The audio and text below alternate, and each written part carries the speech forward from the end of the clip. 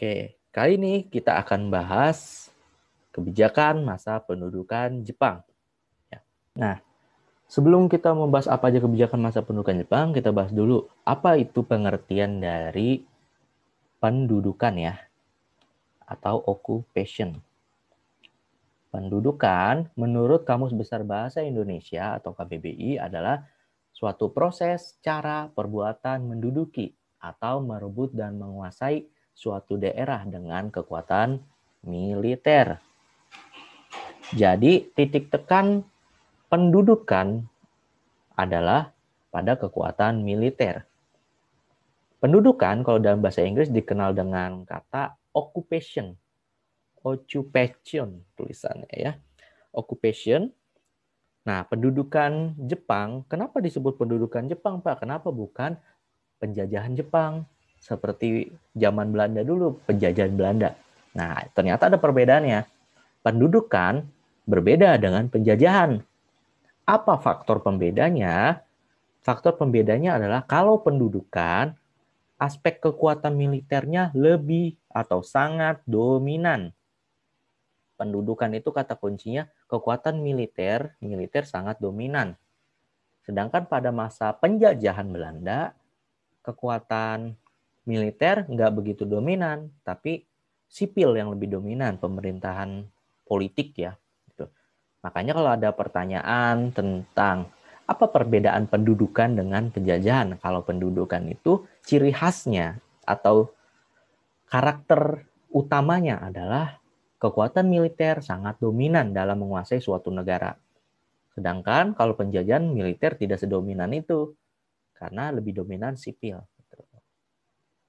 Kalau penjajahan kan kata lainnya colonialization gitu ya. Oke, ini makanya masa pendudukan Jepang dalam beberapa literatur barat juga disebut occupation of Japanese ya, Japanese occupation gitu pendudukan Jepang, bukan colonialization Jepang atau Japanese colonialization bukan, tapi Japanese occupation gitu. Nah, di masa pendudukan Jepang ada berbagai kebijakan antara lain militer, politik, sosial, ekonomi dan budaya. Ini dia. Apa aja kebijakannya? Yuk kita bahas satu persatu ya. Nah, kebijakan di bidang militer Pertama, pemerintah pendudukan Jepang membagi wilayah Indonesia ke dalam tiga wilayah pemerintahan militer. Berikut ini ada nih gambar peta dari pemerintah militer Jepang. Ini bagi dalam ketiga wilayah. Wilayah pertama yang ada lingkaran biru ini nomor satu adalah pemerintah militer angkatan darat Rikugun ya, angkatan darat tentara ke-16 tentara ke-16 ini adalah divisi militer punya Jepang yang mengkomandoi wilayah di Pulau apa? Pulau Jawa dan Madura. Nih, tentara ke-16. Pusat pemerintahnya di mana? Di kota Jakarta. Gitu. Jadi kalau ada tentara ke-16, tentara ke-25, armada selatan ketiga itu adalah nama divisi militer. Ya.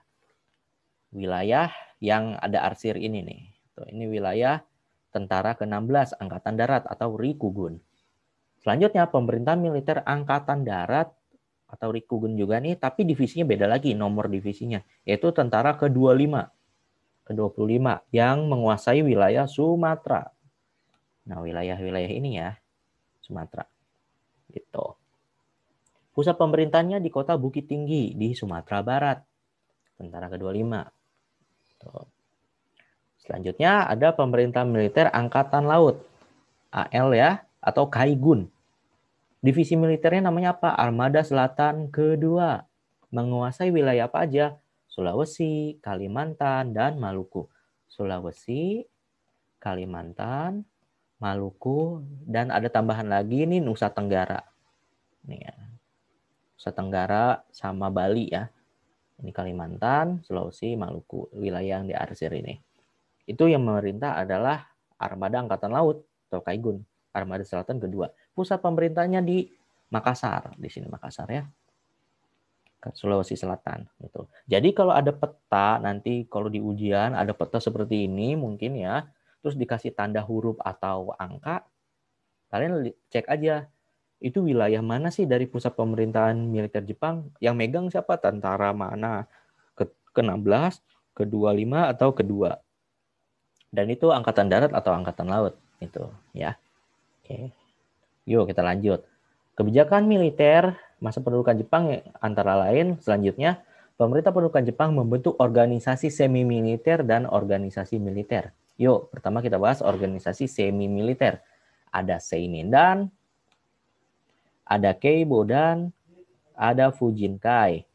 Senindan itu adalah barisan pemuda dari kata Seinin. Seinin itu artinya pemuda. Organisasi ini didirikan pada 9 Maret 1943. Tujuannya adalah melatih pemuda berusia 14 sampai 22 tahun untuk menjaga tanah air dengan kekuatan sendiri. Sebenarnya ini kata-kata yang halus ya, menjaga tanah air dengan kekuatan sendiri itu menjadi semacam mirip-mirip wamil ya wajib militer tapi belum full militer banget. Intinya mempertahankan tanah air sendiri. Ya pada akhirnya Jepang ingin rakyat Indonesia itu membantu mereka dalam perang gitu. Cuman kata-katanya diperhalus yang menjaga tanah air dengan kekuatan sendiri. Anggotanya itu pemuda seukuran anak SMA ya SMA SMP akhir sampai SMA terus sampai anak kuliahan nih umur-umur segini Terus Keibodan, Keibodan atau barisan pembantu polisi. Keibodan berasal dari kata Keisatsu. Keisatsu artinya polisi ya. Jadi kalau ada organisasi nama Keibodan berarti dia tugasnya membantu tugas-tugas polisi. Organisasi ini didirikan 29 April 1943.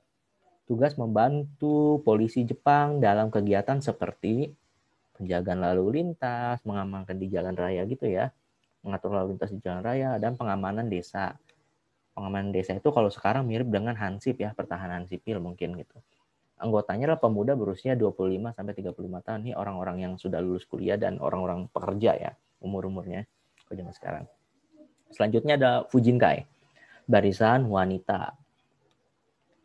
Organisasi ini dibentuk pada bulan Agustus 1943, tugasnya mengerahkan tenaga wanita untuk memperkuat pertahanan dengan caranya apa? Mengumpulkan dana wajib Anggotanya adalah wanita berusia lebih dari 15 tahun. Itu Ini Fujinkai. Selanjutnya ada organisasi militer.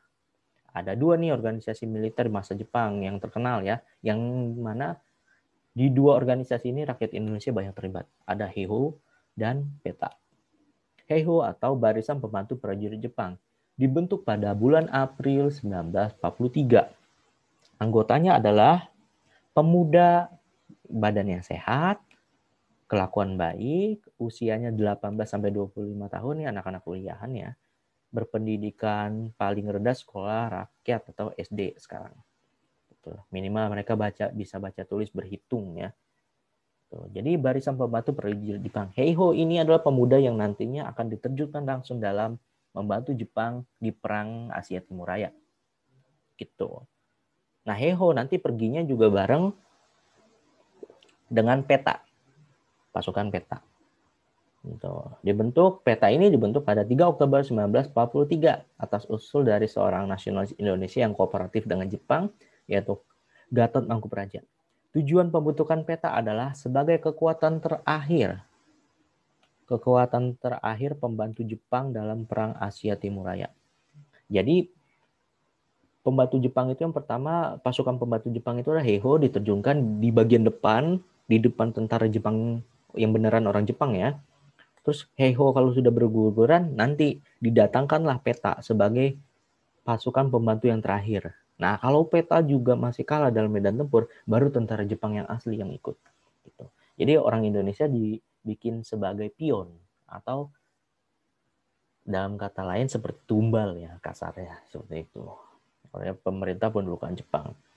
Jadi ya kenapa bersifat pendudukan, bersifat militeristik karena seluruh kepentingan penguasaan Jepang di Indonesia itu untuk kepentingan memenangkan Jepang dalam perang Asia Timur Raya. Gitu. Oke, kita lanjut ke kebijakan politik. Ada kebijakannya itu gerakan 3A. Nah, gerakan 3A ini kalian ingat semboyan mereka yang sangat terkenal ya yang tujuannya itu menarik simpati rakyat Indonesia agar membantu Jepang dalam kepentingan perang Asia Timur Raya. Apa semboyannya? Nippon Cahaya Asia, Nippon Pelindung Asia, dan Nippon Pemimpin Asia. Nippon itu nama lain dari Jepang ya. Nippon. Nah ini poster gerakan 3A nih. Dibacanya dari kanan ya. Nippon. Nippon Cahaya Asia, Nippon Pelindung Asia, Nippon Pemimpin Asia. 3A berarti 3 Asia. Gerakan yang dipimpin oleh Mr. Samsudin ini, gerakan 3A, lalu bubar dan dinyatakan dibubarkan pada September 1942 karena kurang menarik simpati masyarakat gitu slogan-slogan ini. Masyarakat masih cukup takut ya dengan kedatangan orang asing ketika itu. Kemudian kebijakan politik berikutnya adalah gerakan anti barat. Pemerintah pendudukan Jepang melarang semua hal yang berkaitan dengan hal yang berbau barat. Gitu. Anti barat. Nanti tentang contoh kebijakan yang tentang gerakan anti barat ada videonya ya, nanti Bapak play. Kita lanjut dulu sebentar ke Sendenbu. Sendenbu adalah badan propaganda. Propaganda. Propaganda apa sih Pak? Propaganda itu semacam menyuarakan suatu argumen atau pendapat yang mana pendapat itu harus diterima dan dianggap suatu hal yang benar. Intinya menyuarakan suatu pendapat dan pendapat itu harus diterima seolah-olah itu benar semua. Gitu. Sendenbu dibentuk pada Agustus 1942. Tugasnya melakukan propaganda dan menyediakan informasi tentang pemerintahan sipil bagi kekaisaran Jepang. Jadi tokoh-tokoh politik Indonesia ini diselidiki juga dalam propagandanya Sendenbu ya. Gitu anak-anak. Nah, oke. Okay. Tentang gerakan anti barat Bapak putarkan videonya. Seperti apa sih kira-kira contoh kegiatan Jepang yang anti barat itu? Seluruh bangsa Indonesia mengetahui tentang patung Jan Peterson pun karena patung itu suatu simbol kemakmuran untuk bangsa Belanda dan sebagai gubernur jenderal pertama di Indonesia. Tetapi untuk bangsa Indonesia suatu simbol perbudakan. Kurang lebih 300 tahun yang lalu, patung itu didirikan di Jakarta. Untuk memperingati satu tahun sejak para tentara Dainipong datang di Pulau Jawa, pada bulan Maret di Jakarta dilangsungkan upacara menurunkan patung Jan Peterson Kun dari tempatnya. Selama di bawah pemerintah Belanda almarhum, berjuta-juta bangsa Indonesia hidupnya dalam cengkerman imperialisme Belanda. Syukurlah patung itu dilenyapkan dari tempatnya oleh para tentara Dainipon. Oke, jadi tadi adalah video yang di masa pendudukan Jepang itu tentang penurunan patung Jan Peter Kun. Jan Peter Kun itu gubernur jenderal VOC ya, jadi hal-hal yang berbau Belanda itu dihancurin, dimusnahin gitu. Mengata juga di video itu dikatakan pemerintah pendudukan Jepang itu lebih baik lah daripada Belanda karena Belanda dianggap sebagai imperialis atau penjajah bagi bangsa Indonesia. Padahal sebenarnya Jepang juga ya penjajah juga gitu. Itu propagandanya seperti itu kalau dari video buatan Jepang ya. Yuk kita lanjut. Nah, Kebijakan politik berikutnya adalah pemerintah pendudukan Jepang membentuk organisasi yang bernama Putera atau Pusat Tenaga Rakyat pada 16 April 1943 dengan tokoh pemimpinnya yang kita kenal sebagai tokoh empat serangkai ya. Empat serangkai, yaitu ada Bung Karno, Insinyur Soekarno, terus ada Ki Hajar Dewantara, ada Muhammad Hatta, dan Kiai Haji Mas Mansur tokoh-tokoh ini adalah tokoh pemimpin dari Putra, orang-orang Indonesia yang terlibat dalam Putra. Nah, namun Putra kemudian dibubarkan oleh Jepang pada tahun 1944 karena Putra dianggap Jepang lebih mengarahkan rakyat Indonesia kepada kemerdekaan Indonesia. Jadi empat tokoh ini bekerja sama dengan Jepang, tapi sebenarnya bertujuan untuk mengarahkan rakyat Indonesia agar meraih kemerdekaan Indonesia biar lebih semangat gitu meraih kemerdekaan Indonesia walaupun kita sempat sedikit tunduk ya dengan Jepang. Nah, ada beberapa pertanyaan penting ya tentang kok bisa sih tokoh nasionalis Indonesia kayak Bung Karno dan Bung Hatta yang di masa Jepang itu sangat radikal melawan Belanda. Tapi di zaman Jepang bahkan mereka sangat tunduk.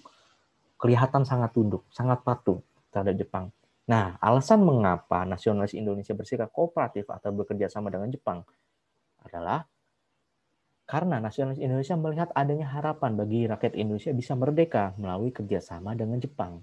Jadi ada harapan karena di masa Belanda itu Belanda sangat menutup habis-habisan kemerdekaan bagi bangsa Indonesia. Sedangkan Jepang sempat menjanjikan di awal mereka datang bahwa Jepang akan membebaskan bangsa Indonesia dari cengkeraman penjajahan Barat. Iya, bebas dari Belanda, tapi dijajah juga oleh Jepang. Realitanya kan begitu. Tapi eh, tokoh-tokoh nasionalis kita beranggapan bahwa oh janji Jepang itu bisa membawa harapan nih kita bisa ada kendaraan atau sarana agar rakyat Indonesia bisa merdeka. Itu. Nah, lalu kenapa Jepang mau mengajak tokoh yang sebelumnya di masa Belanda itu buronan atau sangat radikal melawan pemerintah kolonial Belanda? Kenapa Jepang mengajak? Pertama, ada faktor Jepang itu ya anti barat gitu semua tokoh yang anti Barat akan dijadikan teman oleh Jepang. Bung Karno, Bung Hatta itu anti Belanda banget kan. Makanya dijadikan teman. Nah, selain itu, ada tujuan utamanya lagi. Di balik itu ternyata Jepang punya ambisi tersembunyi, yaitu agar bisa memudahkan pengerahan potensi rakyat untuk kemenangan Jepang dalam Perang Asia Timur Raya. Jadi dengan mengarah mengajak tokoh-tokoh ini bekerja sama dengan Jepang, maka diharapkan rakyat Indonesia ikut. Oh iya, Bung Karno, Bung Hatta ikut dalam organisasi bentukan Jepang. Makanya rakyat boleh ikutlah, ayo ikut yuk gitu. Biar rakyat kalau udah ikut tertarik, maka rakyat akan punya potensi untuk nanti membantu Jepang dalam perang gitu. Nah, terkait dengan bagaimana peran tokoh nasionalis Indonesia yang bekerja sama dengan Jepang, dan seperti apa tindakannya? Ada dua video nih. Video tentang Putra, Bung Karno mempromosikan tentang Putra dan ada tentang sikap kooperatif.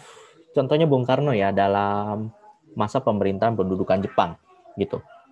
Kita lihat ya. Oke. Cek. Ini video Bung Karno. Saudara-saudara, sekali lagi jawabnya haruslah aku seorang putra oleh karena aku tidak mau bernama anak yang durhaka. Saudara-saudara sekarang saya ajak bersorak tiga kali. Putra! Putra! Putra! Hidup putra! Terima kasih.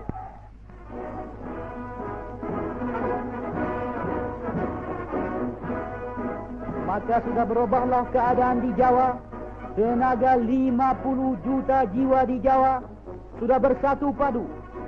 Kita sudah berjanji dengan teguh hati bahwa kita tentu meruntuhkan Amerika Inggris sambil membangun Jawa baru di samping bala tentara Dai Nippon.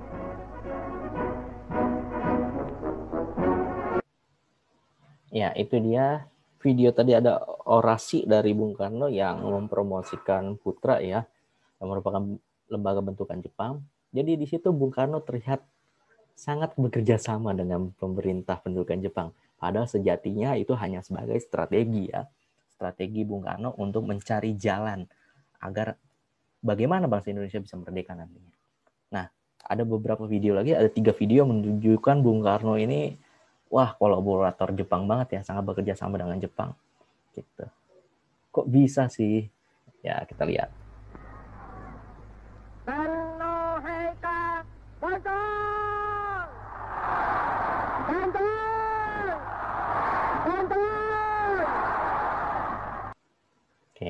Video kedua.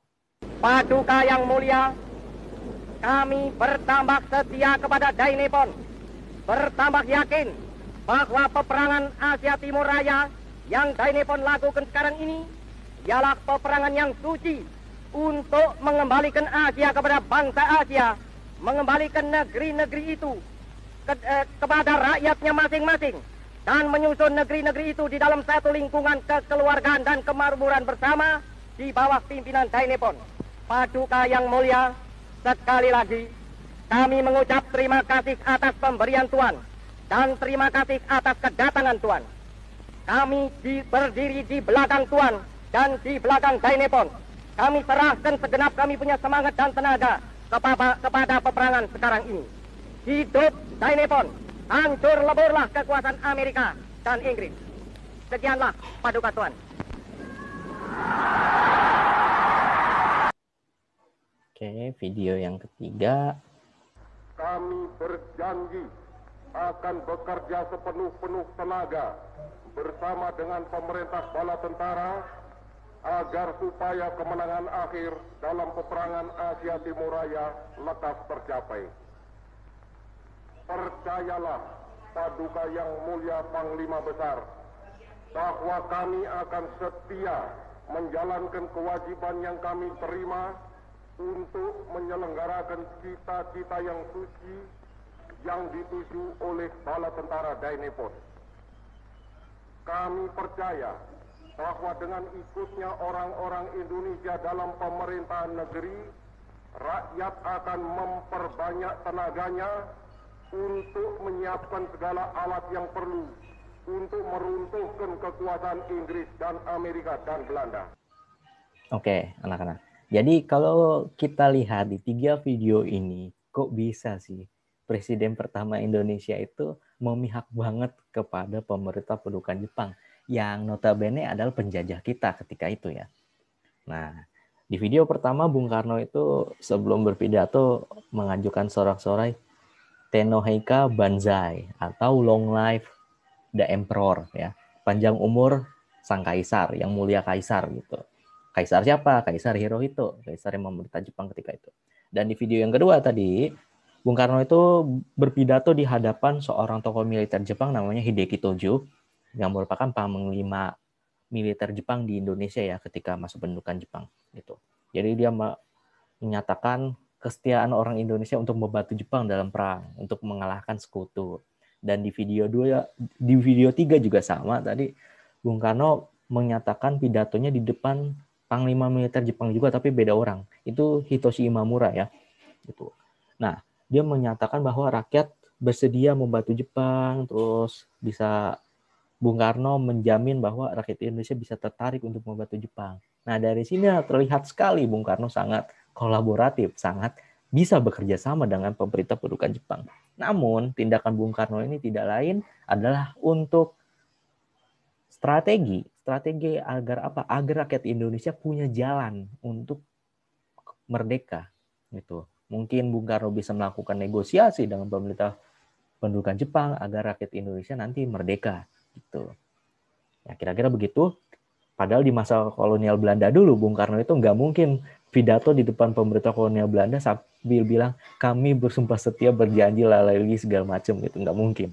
Tapi di masa pendudukan Jepang ini Bung Karno dan beberapa tokoh lainnya itu bahkan sampai menghormati pemimpin dari Jepang itu.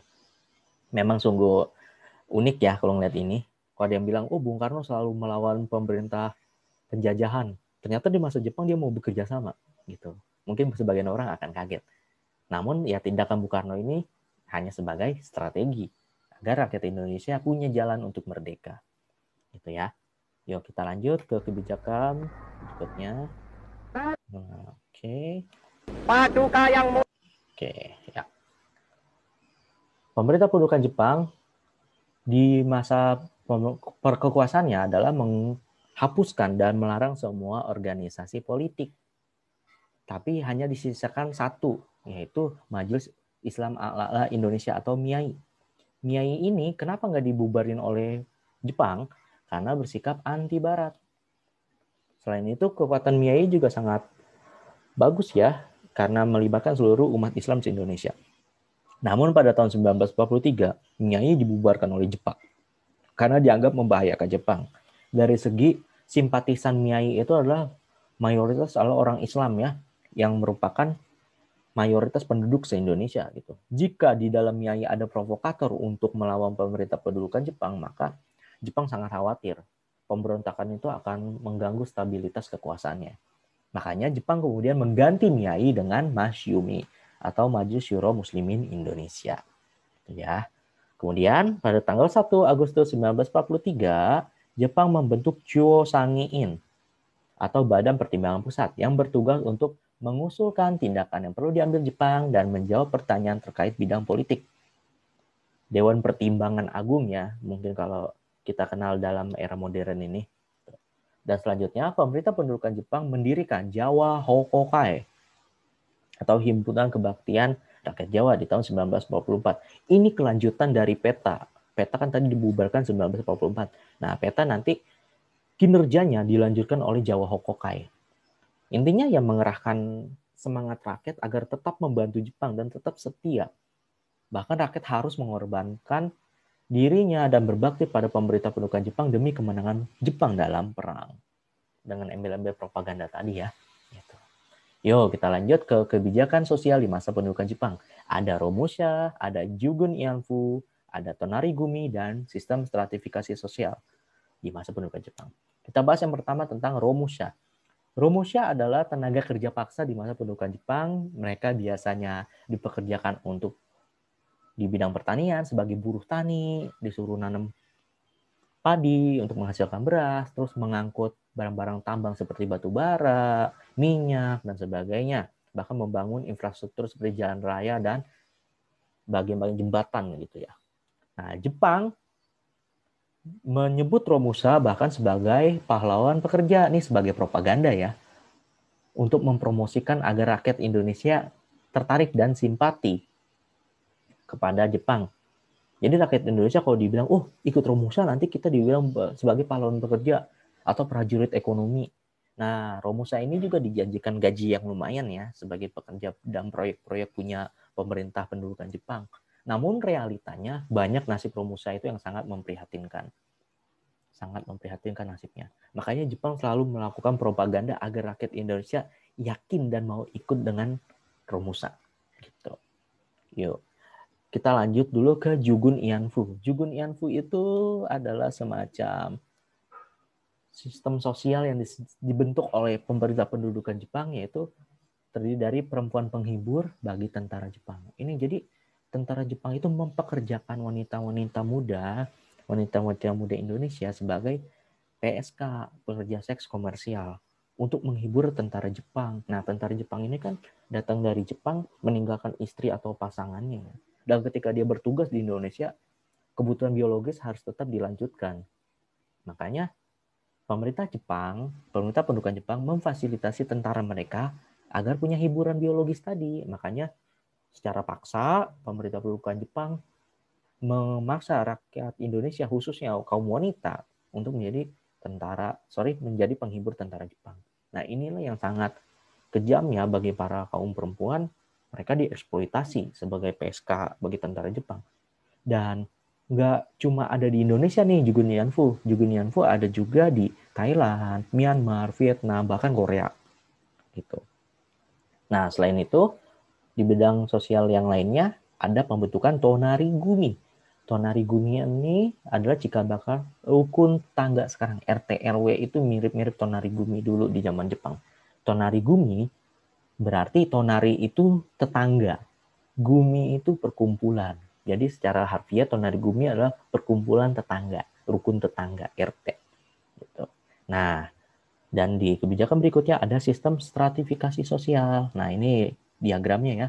Paling atas ada Jepang, di bawah Jepang persis ada pribumi Indonesia, bumi putra Indonesia. Di bawah Indonesia ada timur asing selain Jepang kayak Tiongkok, Korea, Arab, India, Persia dan sebagainya. Terus yang paling bontot, paling bawah adalah Eropa. Yang jadi pertanyaan adalah di masa penduduk, sorry, di masa penjajahan kolonial Belanda, rakyat Indonesia, pribumi Indonesia diletakkan di kasta paling bawah. Di stratifikasi paling bawah. Oleh Eropa, Eropa paling atas. Tapi di masa pendudukan Jepang, kenapa Jepang paling atas dan Indonesia, pribumi Indonesia berada di peringkat kedua? Karena pemerintah pendudukan Jepang berusaha menarik simpati rakyat Indonesia agar setia membantu Jepang dalam Perang Asia Timur Raya. Jadi intinya propaganda lagi untuk menarik simpati rakyat Indonesia. Makanya rakyat Indonesia ditempatkan di posisi kedua setelah Jepang. Itu ya. Oke, yuk kita tonton satu video tentang promosi atau propaganda pemerintah pendudukan Jepang agar rakyat Indonesia tertarik mau ikut dalam Promusa. Ini ada sebuah lagu video klip judul lagunya itu Mars Pekerja ya yang nyanyikan oleh orang Indonesia dan itu direkam oleh lembaga kebudayaan bentukan Jepang. Yuk kita lihat. Ini dia.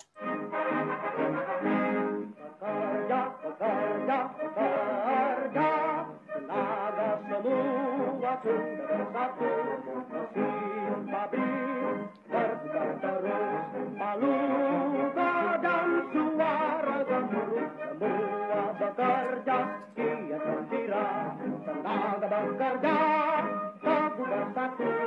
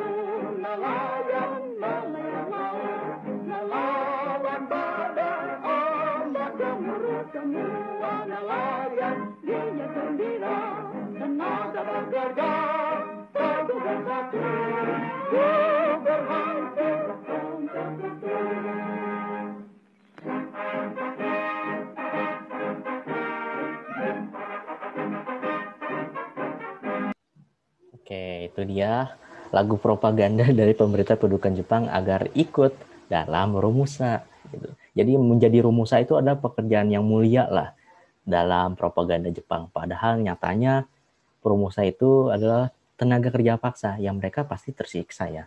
Itu mirisnya. Nah, kita lanjut ke kebijakan bidang ekonomi. Di dalam kebijakan bidang ekonomi ini, pemerintah pendudukan Jepang melakukan penyitaan terhadap seluruh aset peninggalan kolonial Belanda. Bank, terus gedung-gedung pemerintahan, gedung-gedung infrastruktur dan sebagainya itu disita oleh pendudukan Jepang demi kepentingan perang. Selanjutnya, Jepang menerapkan sistem autarki. Pengertian autarki ini semacam sistem ekonomi yang mengharuskan setiap daerah memenuhi kebutuhan pokoknya sendiri. Autarki memenuhi kebutuhan pokoknya sendiri tanpa bantuan dari daerah lain. Maksudnya gimana Pak? Autarki ini contohnya seperti rakyat Indramayu yang kita kenal sebagai produsen beras yang banyak di Jawa Barat. Rakyat Indramayu itu harus bisa menanam padi, bahkan sampai memanen dan jadi beras, itu mereka harus mencukupi kebutuhannya sendiri, bahkan bisa membantu daerah lain. Betul. Rakyat tercukupi dapat beras yang banyak dengan sistem autarki ini tanpa bantuan daerah lain ya. Itu autarki. Terus selanjutnya ada kumiai. Kumiai ini kooperasi yang bertujuan untuk kepentingan bersama. Kumiai kooperasi. Biasanya itu tentang kooperasi simpan pinjam berupa uang ya ataupun kooperasi pertanian untuk pengumpulan barang-barang hasil pertanian seperti beras, gabah dan sebagainya. Kumiai. Selanjutnya masih di bidang pertanian juga ada sistem line system, line system ya sistem pengaturan pertanian secara efisien untuk meningkatkan produksi pangan. Lain sistem ini biasanya pemerintah pendudukan Jepang mengatur pertanian dengan cara memberikan contoh bibit-bibit unggul, terus memberikan pupuk yang efisien untuk menunjang pertumbuhan padi gitu dan sistem pengolahan ya, pengolahan hasil pertanian di lumbung-lumbung beras dan sebagainya. Jadi sistem ekonomi di masa Jepang itu memang mayoritas itu didukung untuk kepentingan Jepang dalam menghadapi perang Asia Timur Raya. Jadi kebutuhan pokok yang sangat dikejar di sini. Ya salah satunya adalah kebutuhan di bidang pertanian. Karena tentara Jepang juga makan nasi. Nasi dari mana? Dari tanaman padi. Gitu. Jadi sistem pertanian padi sangat maju di masa pendudukan Jepang. Namun oh, tentara Jepang doang yang dapat padi yang layak, sedangkan rakyat Indonesia ya istilahnya dapat sisa-sisanya ya mirisnya seperti itu banyak yang kelaparan. Karena makanan itu hanya ditujukan bagi tentara. Tentara yang akan berangkat ke medan perang nanti. Gitu kebijakan ekonomi. Selanjutnya terakhir ada kebijakan bidang budaya. Pertama pemerintah pendudukan Jepang mengharuskan atau mewajibkan rakyat Indonesia agar menghormati bendera Hinomaru bendera yang backgroundnya putih dan ada bundaran merah itu ya bendera Jepang sekarang Hino artinya matahari, Maru itu bulatan, bulatan matahari. Dan Kimigayo. Jadi rakyat Indonesia itu harus hafal dan harus bisa menyanyikan lagu Kimigayo karena Kimigayo inilah yang dianggap sebagai lagu kebesaran bangsa Jepang. Seluruh wilayah yang dikuasai Jepang harus bisa mengumandangkan lagu ini. Itu lagu kebangsa Jepang. Kebijakan berikutnya, pemerintah pendudukan Jepang mewajibkan praktik seikere. Seikere itu semacam praktik membukukan badan ke arah istana kaisar Jepang di Tokyo. Membukukan badannya itu mirip seperti gerakan ruku dalam sholatnya umat Islam ya. Itu seikere. Nah, selanjutnya, sejak 1 April 1942, jam di Indonesia mengikuti jam di Jepang, yaitu Contoh kalau di Indonesia sekarang jam 9, 9 pagi, di Jepang sudah jam 11. Gitu. Jadi dua jam lebih awal ya kalau di Jepang itu. Nah, itu dia. Jamnya lebih awal dua jam kalau Jepang. Terus, sejak 29 April 1942 ditetapkanlah yang namanya kalender Sumera. Kalender ini kalau disandingkan atau dibandingkan dengan kalender Masehi, kalender yang kita gunakan sehari-hari sekarang, sama dengan begini perbandingannya. Tahun 1922, 1942 Masehi sama dengan tahun 2602 kalender Sumera. Ternyata untuk kalender Sumera ini kita harus menambahkan 660 tahun ke kalender Masehi.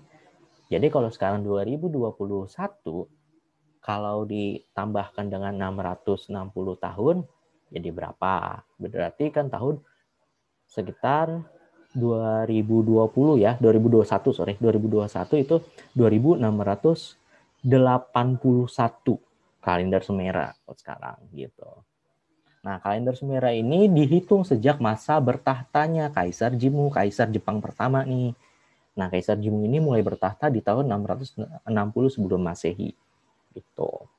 Ini kalender Sumera. Dan bukti dari penggunaan kalender Sumera ini kita bisa lihat hingga hingga sekarang. Di mana? Di naskah proklamasi ada di bagian mana? Nanti di materi berikutnya kita bahas. Nah, kewajiban merayakan ada lagi kewajiban merayakan Tancho Setsu atau perayaan hari ulang tahun kelahiran Kaisar Hirohito setiap tanggal berapa dilaksanakannya? Setiap tanggal 29 April. Kaisar Hirohito lahir di tahun 1901 ya. Gitu. Jadi sejak 29 April 1942 sampai 29 April 1945, rakyat Indonesia diharuskan pemerintah pendudukan Jepang untuk merayakan Tancho Setsu. Nah, selanjutnya pemerintah pendudukan Jepang menggerakkan propaganda budaya melalui organisasi bernama Keimin Bunka Shidosho pusat kebudayaan yang mewadahi perkembangan budaya Indonesia ya. Selain budaya Indonesia, di sini dimasukkan juga pengaruh budaya-budaya Jepang seperti pengajaran bahasa Jepang, pengajaran huruf hiragana, huruf katakana, dan huruf kanji. gitu. Bahkan lagu-lagu Jepang juga diperkenalkan melalui lembaga ini.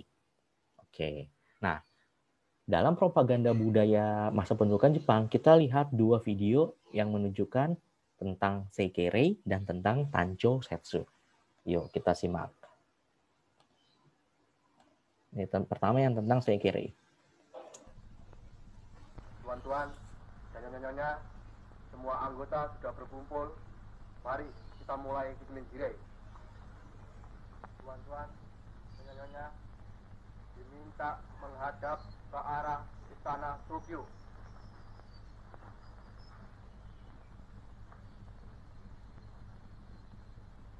yo yo yo ay.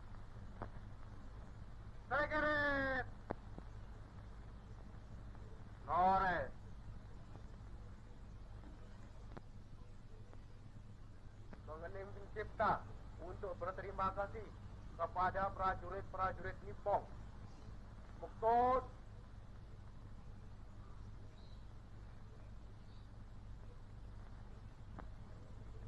Nore tuan-tuan dan nyonya-nyonya silakan duduk kembali. Oke, itu dia tampilan dari bagaimana contoh praktik Seikere di masa pendudukan Jepang ya. Dan selanjutnya kita ke video tentang Tancho Setsu.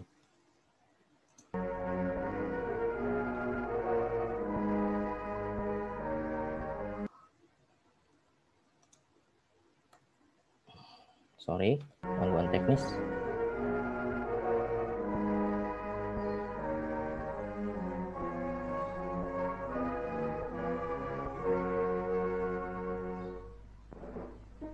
Joseph, hari perayaan Maulud Tenno Heika yang pertama kalinya diramaikan di Jawa.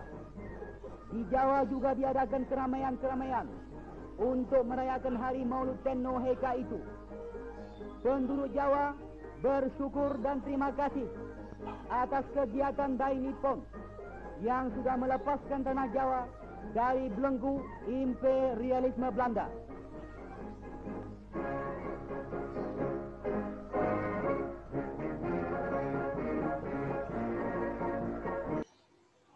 Oke, itu dia video ilustrasi tentang rakyat di Pulau Jawa yang diharuskan Jepang untuk merayakan hari kelahiran Kaisar Hirohito ya. Tenoheika. Tenoheika itu kata lainnya adalah paduka yang mulia. Gitu. Teno itu kaisar, paduka yang mulia kaisar, Tenoheika, Heika itu paduka yang mulia. Gitu.